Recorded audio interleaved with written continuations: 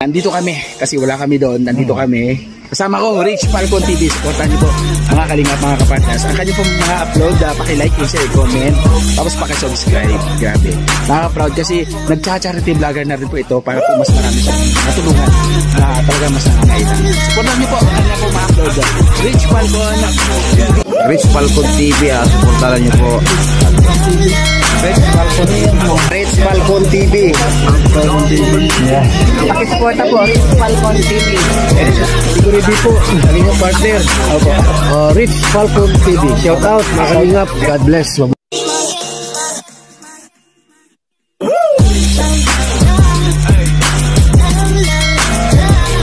Sa pong mapagpalang umaga sa atin mga kalingap at ah, sa lahat po ng mga supporters natin dyan, sa lahat po ng solid kalingap, ah, organic supporters and ah, sa ating mga kaibigan and also dun sa ating mga silent ah, viewers dyan, ah, silent supporters and to Kuya Bal, Ate Edna, Kalingap Rab and sa lahat po ng mga kalingap ah, partners shout out po ito pong araw na to ay ah, magtatanim tayo ng kamote. Maganda daw po itong variety ng kamote na to. At malalaki daw po ang laman nito. Yan. So ibinigay lang po ito sa atin dyan ng ah, isa nating ah, naging kaibigan na dito sa farm. At ah, dinala po ni Jose. Ayan, so ito po, ito po ang variety ng kamote na itatanim natin dito. Maganda po itong lupa dito eh, sa ating ah, nililinisan.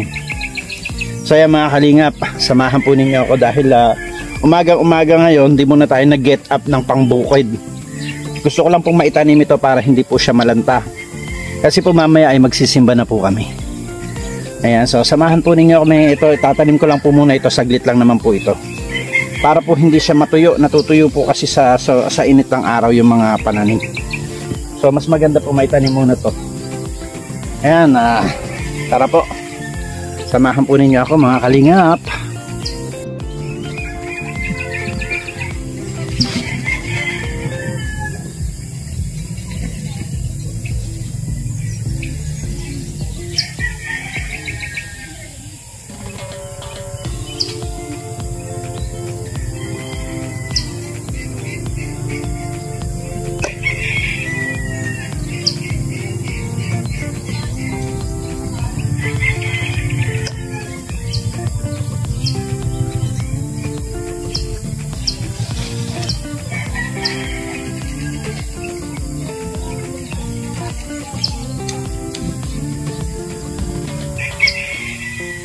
Putol-putulin po muna natin itong ating uh, pantanin.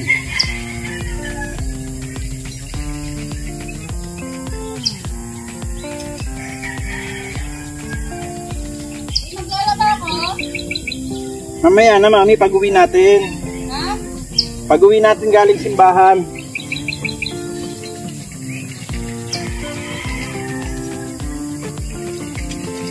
Lipad po ni Aldos.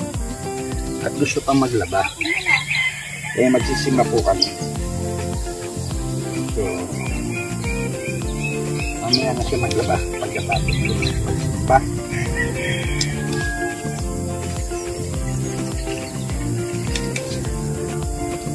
Ganda po itong kamote oh. May ugat na.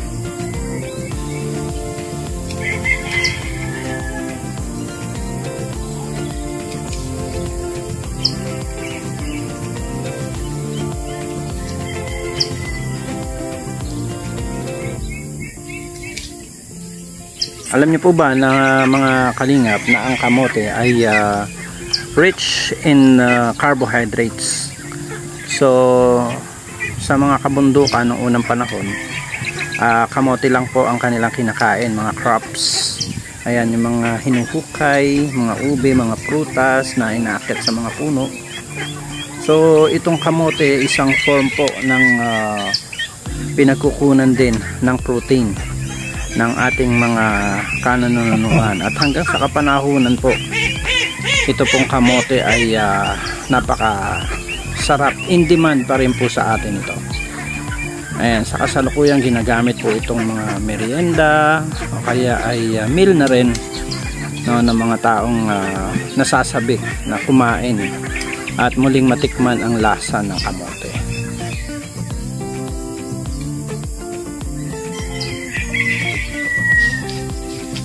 Paramihin natin ito.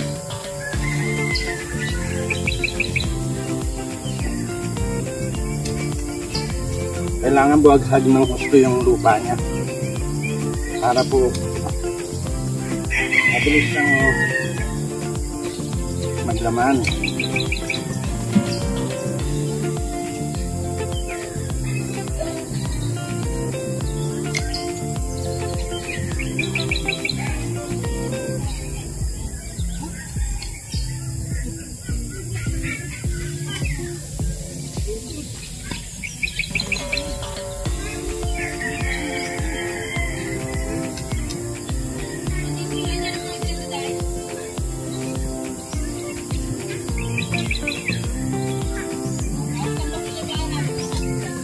Ako po ay ah, paborito ko pa rin po itong kamote hanggang ah, ngayon.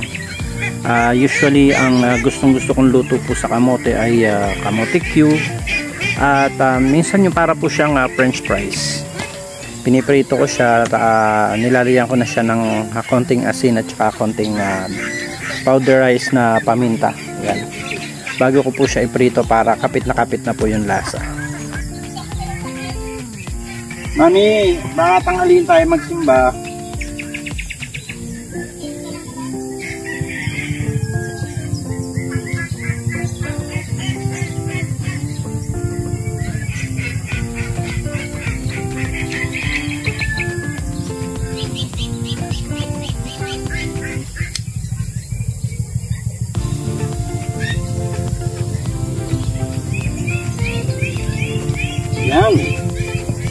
Yun na mga kalingap, naputol-putol na po natin. Ngayon naman po ay mag bubungkal tayo ng lupa.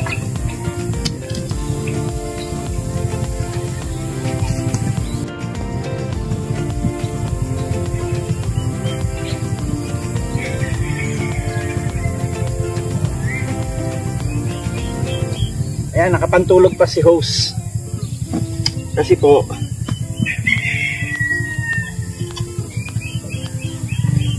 hindi na po ako nagbihis kasi maliligo rin naman ako after nito. Gusto ko lang po makakapagtanim.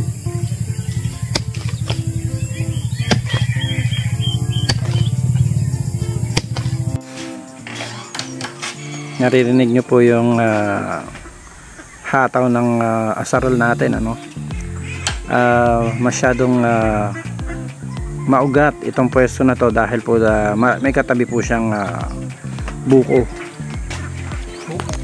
Ayan. Pero syempre, ah, kasama po yan sa i-cultivate natin. Hindi naman natin masyado ilalapit dun sa buko. Hanggang dyan lang po tayo. Yan, mga 1 meter apart. So, mula po dyan ay ah, bubungkalin po natin ito hanggang dun po sa taas para po makapagsimula na tayong ah, makapagtanim po ng kamote. So, ito pong ating ah, kamote ay 3 months lang po ay ah, maglalaman na po ito ayoko po siyang basta itanim lang. Ah, bag- tinanggal na natin yung mga damo dito. Ngayon naman po ay ah, yung ugat ng damo naman po ang tatanggalin natin. Para po medyo makahinga ng maayos yung kamote ay ah, bubuhaghagin po natin ang lupa pagkatapos natin bungkalin. So yan po yung pamamaraan na natutunan ko sa father ko pa ng pagtatanim Ah, nung ako po ay bata pa, laging kasakasama po ako ng aking tatay sa pagtatanim ng kamote. At ng mga iba pang crops na aming ah, pinakikinabangan nung kami po ay ah, maliliit pa dahil syempre ah, laki sa hirap, ah, kailangan magsumikap.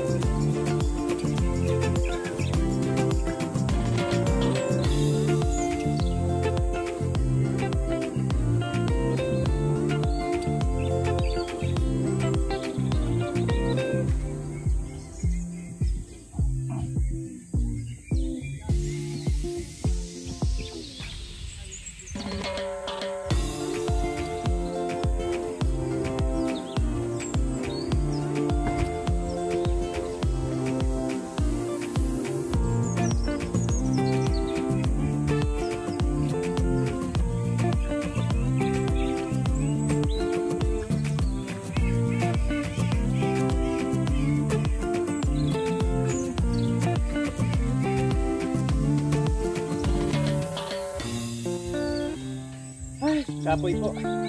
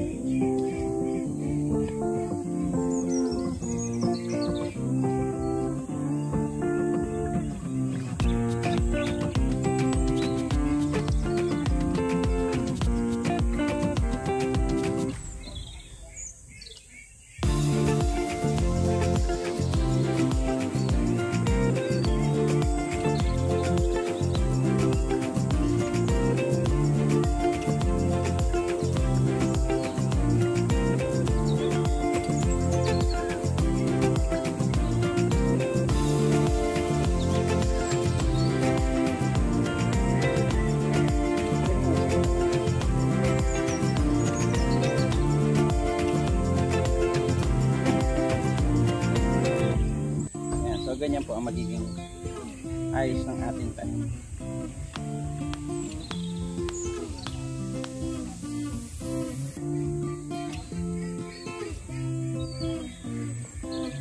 Tapusin ko lang po ito isang plat na to tapos magsisimba na po tayo.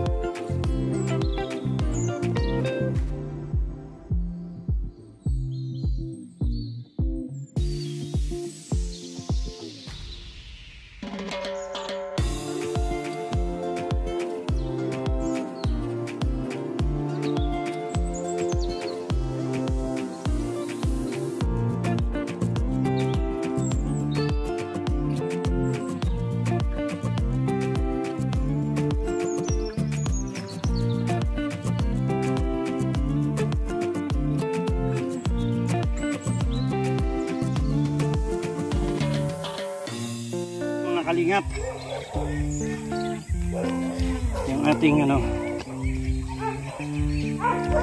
Start na po tayo magtanim.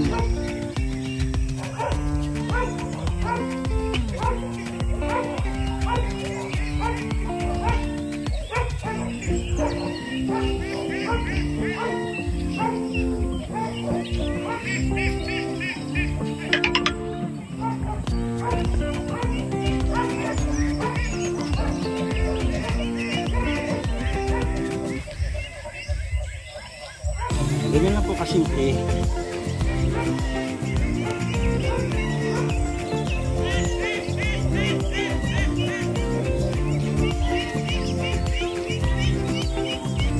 Alam ko na design yung kamalaman ng kamote mo. bilog. bilog siya, bilog.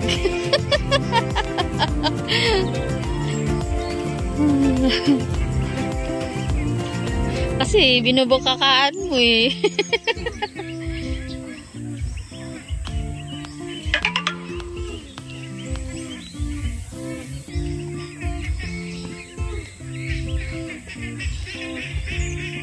Pag daw kasi babae ang nagtanim ng kamuti buka. Kaya hindi dapat binubukakan. Ayan, blessed morning po sa inyong lahat. Happy Sunday po.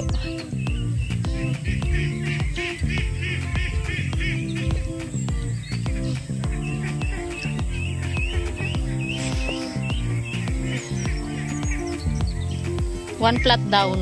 Flat, one flat down. Kailangan para makarakuha pa tayo ng madaming pang tanim, no? Saan pa kaya kumuha niyan si Francisco Jose?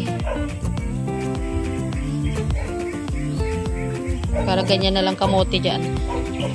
Madali lang daw yan eh, 3 months, no, de? 3 months lang daw yan, magkakalaman na siya, oh. Dahil ito yung huli kong pinungkal, Tatanggalan mo ng ugat. dami mo.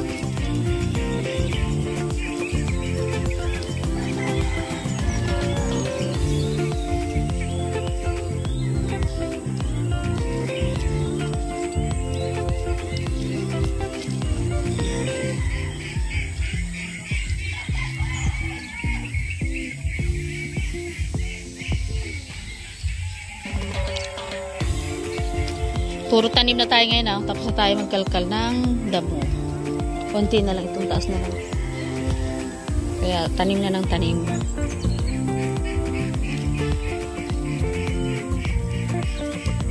Kailangan po natin magtanim. Para mayroon tayong maani. Mauna tayo ng ulan. Tutubo na yung damo. So ito, pag nabungkal natin, kahit po umulan, At least may inaantay ka ng tutubo. Na tanim. Hindi damo.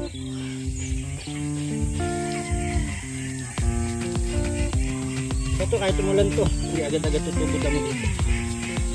Grabe na yung ginawa natin dyan, no? Binunot na da ugat, eh. Ganyan naman po yung ugat ng nyug at saka ano, Hindi ba mamatay nyo? Kinuha mo ugat?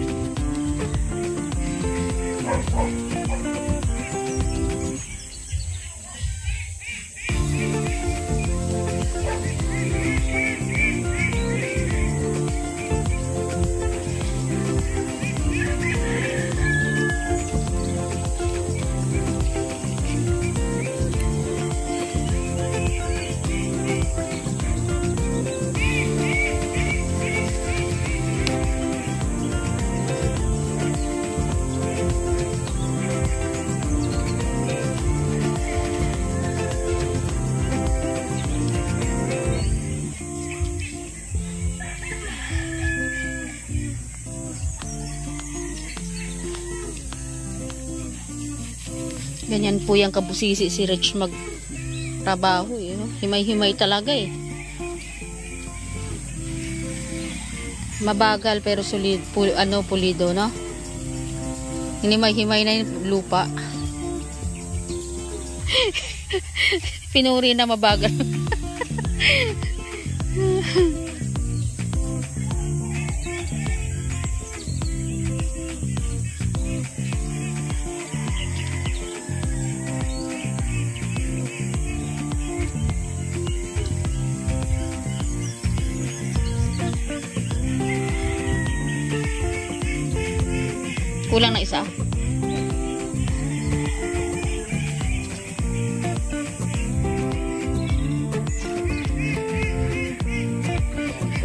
Plat na lang yan?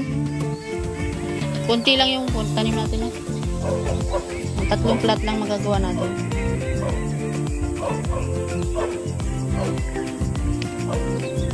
Kahit sana lima para ano.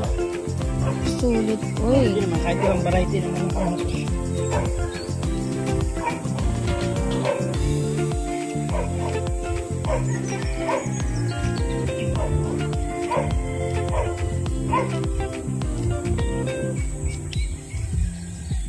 So yan mga kalingap.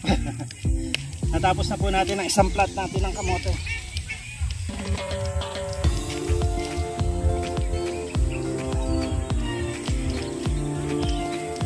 Ganyan po kami magtanim ng kamote sa Pampanga.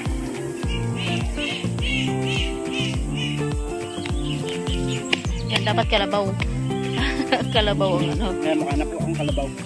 Dapat kalabaw ang buo bungkal na. Kulay kalabaw na po. Apa.